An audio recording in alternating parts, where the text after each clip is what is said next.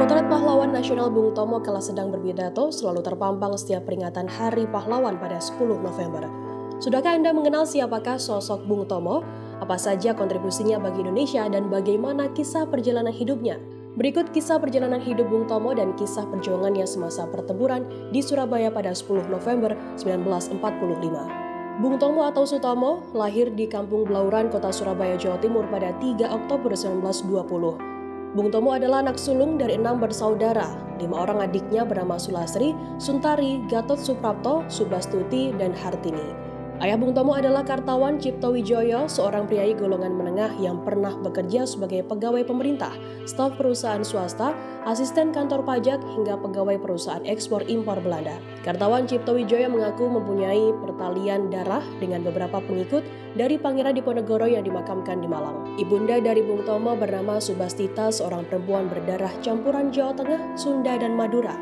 Subastita adalah anak seorang distributor lokal mesin jahit Singer di wilayah Surabaya yang pernah menjadi polisi kota Praja dan anggota Sarekat Islam atau SI sebelum pindah ke Surabaya. Pada 19 Juni 1947 saat usianya 26 tahun, Bung Tomo menikah dengan perempuan bernama Sulistiana, seorang mantan perawat Palang Merah Indonesia atau PMI. Bung Tomo dan Sulistiana dikaruniai empat orang anak. Anak pertama bernama Titing Sulistami, lahir pada 29 Juli 1948. Anak kedua Bambang Sulistomo lahir pada 22 April 1950. Anak ketiga, Sri Sulistami, lahir pada 16 Agustus 1951. Anak keempat, Ratna Sulistami, lahir pada 12 November 1958. Bung Tomo semasa hidup memiliki wasiat agar ia tidak dimakamkan di Taman Makam Pahlawan seperti halnya tokoh-tokoh yang lain, melainkan di TPU Ngagel, Surabaya. Dan ia pun dimakamkan di sana. Ia dinobatkan sebagai pahlawan nasional pada 10 November 2008 oleh Presiden Susilo Bambang Yudhoyono. Kala itu Sulistiana istri Bung Tomo menerima langsung surat keputusan penobatan pahlawan nasional dari Presiden Susilo Bambang Yudhoyono.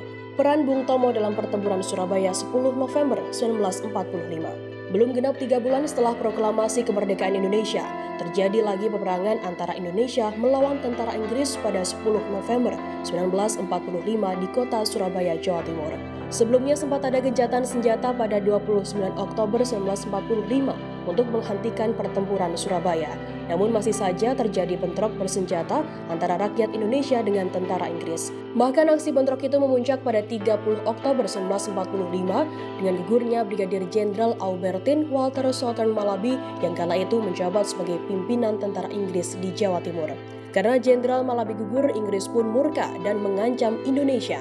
Adapun posisi Jenderal Malabi digantikan oleh Mayor Jenderal Robert Mansart dari Komandan Divisi 5 Inggris. Pada 9 November 1945, Jenderal Mansart mengeluarkan ultimatum kepada rakyat Surabaya. Isi dari ultimatum Inggris tersebut antara lain yakni yang pertama, seluruh pemimpin Indonesia di Surabaya harus melaporkan diri.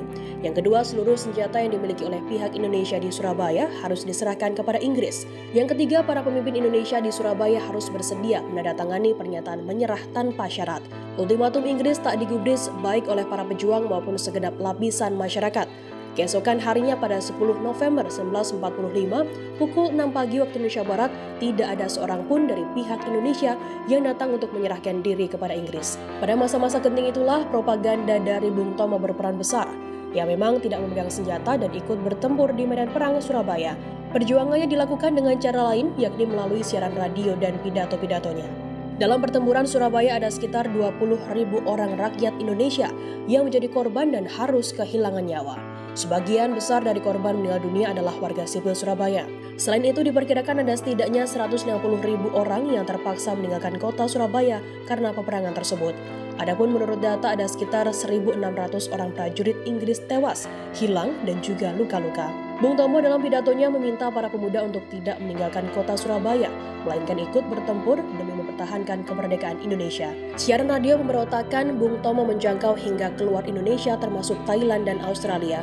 Bung Tomo melalui siaran-siaran radionya berhasil mendorong dunia internasional untuk menekan pihak Belanda dan Inggris agar mengendurkan serangannya terhadap Indonesia. Berkat siaran radio Bung Tomo datang berbagai bentuk bantuan bagi rakyat Surabaya yang bertempur melawan Inggris dan Belanda. Melalui siaran radio itu, Bung Tomo juga meminta tambahan pasukan untuk Surabaya. Benar saja, tak lama kemudian, Markas Besar Tentara Keamanan Rakyat atau TKR di Yogyakarta mengirimkan seorang komandan dan lebih dari 20 kadet untuk membantu para pejuang di Surabaya. Siaran radio Bung Tomo juga meminta dukungan medis untuk para korban pertempuran Surabaya. Para simpatisan menyambut baik siaran radio Bung Tomo kemudian mengirimkan bantuan dalam bentuk pengiriman ratusan perawat dengan sukarela dan sejumlah dokter. Ketika Bung Tomo menyiarkan tentang permintaan bantuan makanan, dalam waktu singkat datanglah bantuan makanan untuk rakyat Surabaya yang masih bertempur melawan penjajah. Itulah perjalanan hidup dari Bung Tomo, sang tokoh pahlawan di balik siaran radio dan pidato ikonik yang menyalakan semangat juang para pemuda di pertempuran Surabaya 10 November 1945. Peristiwa pertempuran besar itulah yang menjadikan Surabaya dijuluki sebagai kota pahlawan dan menjadikan tanggal 10 November sebagai Hari Pahlawan. Terima kasih sudah nonton. Jangan lupa like, subscribe, dan share ya.